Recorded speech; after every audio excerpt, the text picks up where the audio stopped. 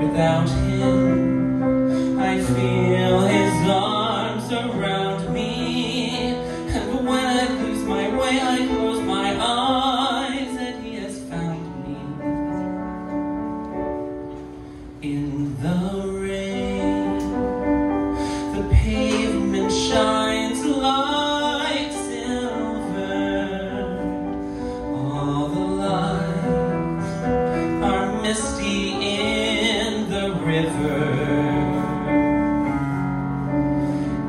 the darkness, the trees are full of starlight, and all I see is him and me forever and forever.